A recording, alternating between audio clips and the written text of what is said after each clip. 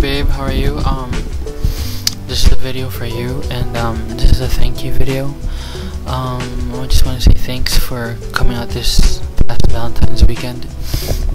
Um, thank you for spending it with me, and I want to let you know that I really had a, a great time, and uh, I I appreciate I appreciate you, and I appreciate you taking time out of your busy schedule despite of all the chaotic mess that's going on with your birth certificate.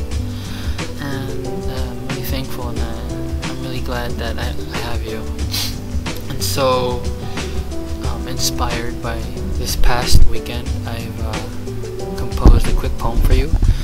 And I want to recite it out to you on the internet instead of uh, putting it through text or text messages because it's more meaningful this way, I guess. So it'll go something like this. No one leaves me quite like you. No one believes me quite like you. My own worst critic right on cue. To dissect my aspects, and I am you. Sticks and stones won't hurt my bones, like you do. My inner turmoil, which I thought today was through. But I guess not, cause misery loves company, and I hate being alone. And so I turn to you.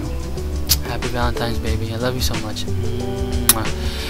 Thank you once again, and I hope you get well soon. I'm sorry that uh, I got you sick, but the red mango was still worth it. It tasted really good, in my opinion. So yeah, maybe next time we won't get red mango. Alright, baby, take care, and uh, hopefully I'll be seeing you soon.